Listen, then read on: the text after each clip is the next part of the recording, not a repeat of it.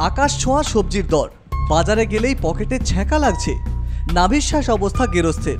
হঠাৎ লাগাম ছাড়া সবজির দর নিয়ে উদ্বিগ্ন রাজ্য সরকারও। সোমবার বিভিন্ন বাজারে যৌথ অভিযান করল এনফোর্সমেন্ট ব্রাঞ্চ এবং স্পেশাল টাস্ক ফোর্স। সবজি বিক্রেতাদের হুঁশিয়ারি স্পেশাল টাস্ক ফোর্সের আধিকারিক রবীন্দ্রনাথ কোলের যদি বেশি দাম নেয় যদি কথা না শোনে তাহলে প্রশাসনিক ব্যবস্থা নেওয়া হবে তার এগেনস্টে। বাজারে সবথেকে বেশি ঘাম ঝরাচ্ছে লঙ্কার দর। এদিন সবজি বিক্রেতাদের সঙ্গে সে বিষয়েও কথা বলেন আধিকারিকরা। আমাদের এই বাজারগুলো, কলকাতার সমস্ত হোলসেল রিটেল যত বাজার আছে, সেগুলোর ওপরে নজরদারি চালানোর কথা সিদ্ধান্ত হয়েছে। সেই অনুযায়ী আজকে আমরা এখানে এসেছি।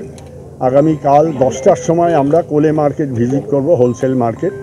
আমরা এই বাজারে যে দাম আছে মোটামুটি যে দামে বিক্রি হচ্ছে সেগুলো আমরা দেখেছি এবং তার থেকে অনেকটা কমে বাইরে সরকারি যে বিক্রি করছে, তারা কম দামে বিক্রি করছে।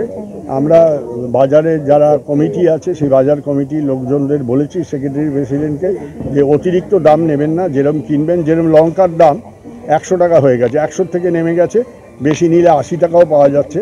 লঙ্কার দাম সেটা এরা দুশো টাকায় বেচছে, আমরা বলেছি এটা আপনাদের ভেবে দেখতে হবে দেখতে হবে এবং সেই অনুযায়ী, বাজার অনুযায়ী বেচতে হবে। বেশি দাম নেওয়া চলবে না।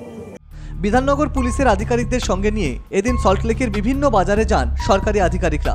মঙ্গলবারও কলকাতার বিভিন্ন বাজার পরিদর্শনে যাবেন তারা।